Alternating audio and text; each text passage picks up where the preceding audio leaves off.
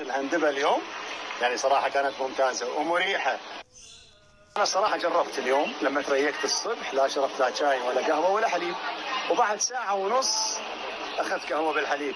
بس والله حسيت براحة وهذه كانت نصيحتي أهلا امس دكتور جاسم ازيك؟ إي والله أهلا وسهلا مساء الفل. حياك. بس أنا أنا أسمع عنك إنك أنت ما تتريق كل يوم صح؟ تكره الناس فينا وتعمل يا جماعة الفطور مش مش مش مش أحسن وجبة ومش أكتر وجبة صحية. ومادام ربنا قايل لك جسمك إداك الإشارة إنك مش جعان ما تاكلش ما تاكلش غصب عنك. طيب يعني أنا أقوم من النوم وما أكل شيء ابدا. طيب متى أكل؟ يعني متى أتريق؟ الصح أنا بعد ما تقوم بساعتين ربنا عامل ال- الكبد الصبح يديك الخزين أو الجلايكوجين تمشي ساعتين ثلاثة وبعدين تاكل. اطلع من يعني المفروض نطلع نصطاد نروح الشغل نلاقي أكل ناكله. الجينات ما فيهاش ثلاجه حضرتك. طيب وإذا واحد أول ما قام من النوم أكل وتريق. يعني وين المشكلة في الموضوع؟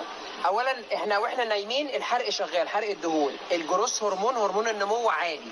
الأدرينالين قليل. والخلايا حاجة اسمها اوتوفاجي الخلايا السرطانية بتموت والخلايا الضارة بتموت. كل ده بيقف مع أول أكلة. ما تستنى ساعتين ثلاثة كمان. هتلاقي هتاكل طول النهار. أقل هتلاقي تركيزك أحسن. مش هتلاقي إنك نفسك جعان الساعة 12 تاكل تاني. طيب وإذا أنا تريقت الساعة 11 الغداء متى؟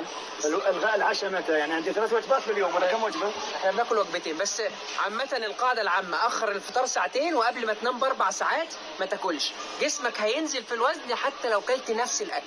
يا سلام حقرب بكرة إن شاء الله. إحنا على فكرة اتفقنا على موضوع آخر، إن شاء الله دكتور جاسم هيبطل حليب ويبطل جلوتين من القمح ويبطل سكر، خمس ست أيام ويقول لنا التجربة بتاعته. نجرب إن شاء الله بإذن الله. بس نجرب بعد الرحلة إن شاء الله. وشربوا هندباء النهارده مش شاي ولا قهوة. أي والله صراحة أنا شربت الهندبة اليوم.